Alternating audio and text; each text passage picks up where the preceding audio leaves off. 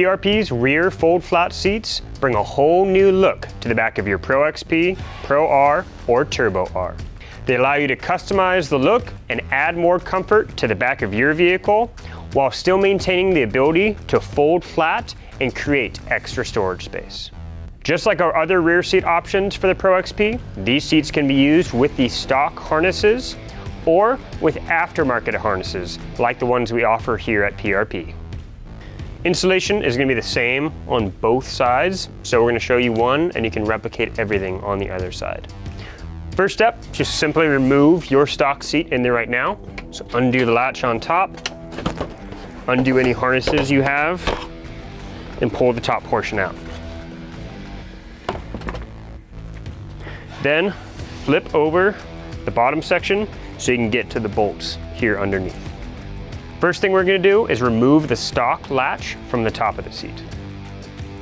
You're gonna use a 10 millimeter socket on these top two bolts, and then a 10 millimeter socket and wrench on the bottom bolt and nut.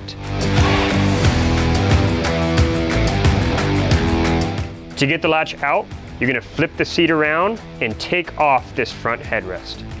You can use just a screwdriver and just push it in there really deep and pop it open so the plastic piece comes off.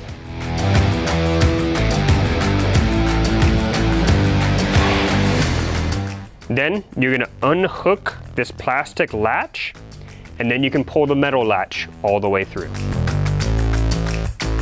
Now we're gonna install that same latch onto our PRP seat. So first step is to take that plastic latch and feed it all the way through so it lines up with this bolt hole down here. The stock bolt is way too long for our latch housing, so we provided an extra bolt or extra hardware to do that. You can use the same nut that you pulled off the stock seat to attach it. That nut is pretty tight and kind of hard to get in there, so you just really have to push it down against the seat cover and then get it hand tight to start with. After that, you're gonna push down on this latch, take that metal end and hook it back into its housing then take those two stock bolts and put them back on the top. Then tighten everything back down with a 10 millimeter socket and wrench.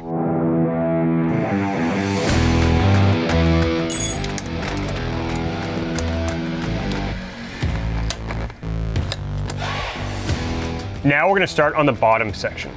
First thing you're going to do is gonna be to remove the plastic or stock seat on there. So you're gonna use a T40 to remove the six bolts that hold that plastic base to the bracket.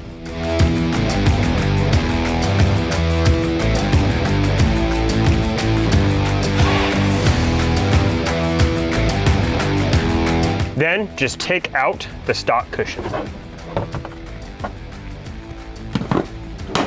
Next, take our bottom cushion and put it underneath. Make sure you have it oriented the right direction. It's kind of backwards to how you think it's gonna be. So the back of the seat is gonna go up here towards the front and then think about it flips correctly that way. Then get all the bolt holes lined up. There's a little guide here in the front that makes it kind of easy. And then you're just gonna put those six T40 bolts back in.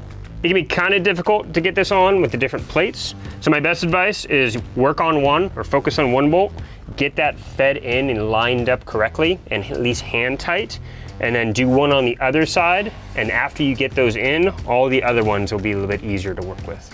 Once all the bolts are in and everything's lined up correctly, you can flip the seat back up and over. And then last step, you're gonna install the top of the seat so move the seat around until you get those two feet to slide into the slots. Then just click in the top.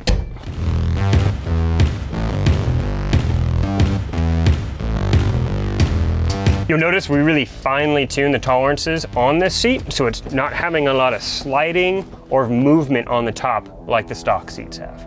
Then, simple enough, just like the stock seats, if you want to take it out, undo the latch in the back, pull out the top, and you can flip the bottom back over and create your storage space.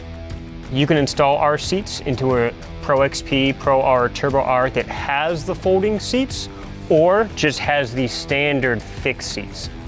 Obviously though, on with the standard fixed seats, they're not gonna magically fold. You still need to have that folding bracket for them to work. So our seats will be fixed in place, just like your stock ones are. Installation on the bottom portion is just a little bit different. Rather than having this folding bracket, you're gonna have two fixed brackets that go on either side. To remove your stock seats, you're gonna take out the two bolts on either side in front and the single bolt on either side in the back.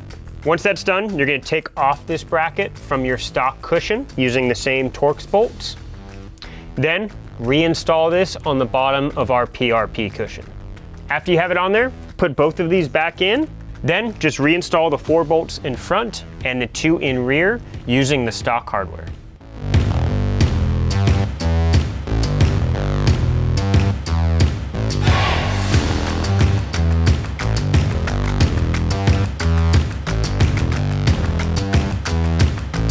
These are our lowest sitting seats for the back of the Pro XP, which is especially nice if you have really tall passengers or a lowered cage.